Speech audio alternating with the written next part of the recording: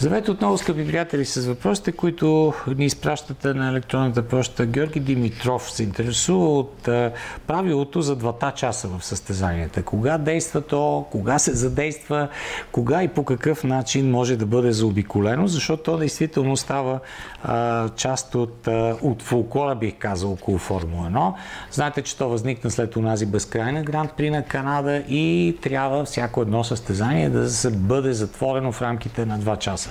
Сега, пак обаче в правилата има едни тънкости, които са много особени. Първо, кога започват тия 2 часа. Второ, момента в който рейс контрола при форс-мажорни обстоятелства или при някакви обстоятелства може да спре часовника. Т.е. някакво време да не се брои, да се добави към примерно час и половина състезание, още половин час състезание, ама след един час.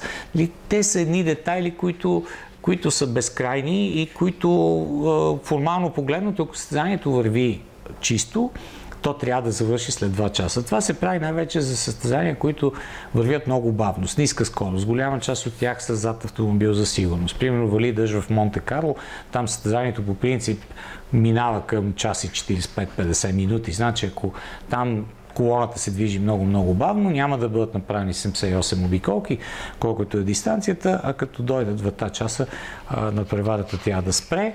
Но пак казвам, има много условности и е, буквално детал след детал, буквално тим менеджерите в хода на състезанията четат правилата, за да могат да се информират какво точно е, трябва да се направи и какво ще реши рейс контрол. Нали? Те затова оставиха и комуникацията между тим менеджерите и рейс директора, след това, което стана с Майкъл Мас миналата година. Примерно шефовете на отбори, Тото Волф, Кристиан Хорнер не могат да си комуникират с Нилвитик, но техните менеджери могат да направят това и то пак е свързано с тия а, детайли в провеждането на състезанието и в начина по който са оформени правилата. Благодаря за въпроса, ще бъдем отново заедно скоро.